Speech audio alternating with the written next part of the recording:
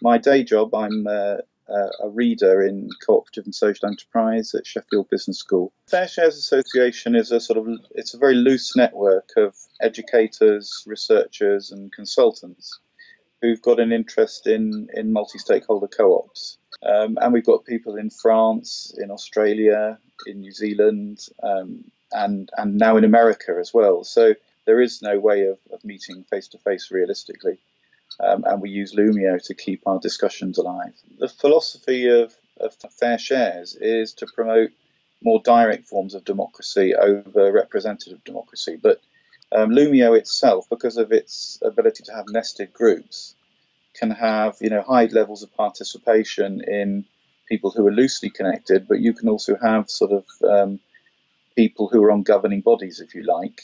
So if you do have representative democracy, you can replicate that in Loomio's system. So we, we like the combination of having very open forums where you can have one person, one vote, and open debates, but also have a group of members maybe taking a decision around the change of the constitution, for example.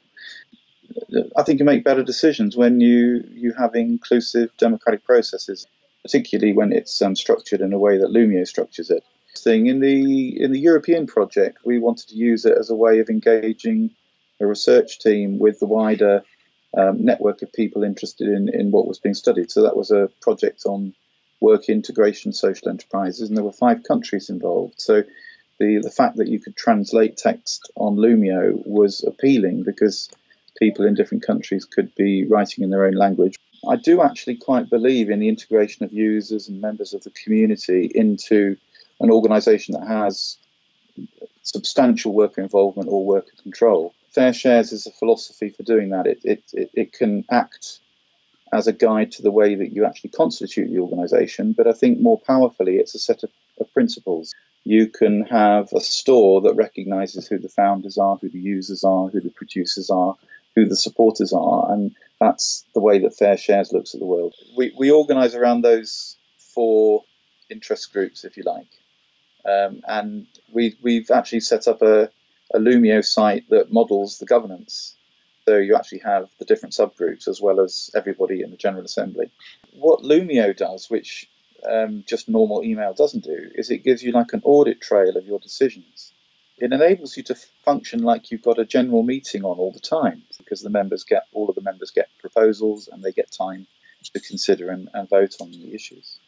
And it also enabled people whose voices were normally not heard to exercise their voice more effectively, and that people who were usually very dominant, that they weren't as dominant when it was being run through Loomio. I'm quite hopeful that sort of a technology enabled um, sharing economy, where the organisations in the sharing economy are are cooperatively owned rather than you know, owned by absentee investors we, we will we will gradually work towards a, genuine participatory democracy at work. So it's the marriage of technology and the thinking in fair shares that I think will create um, the ability for different constituent groups to really bargain with each other as equals.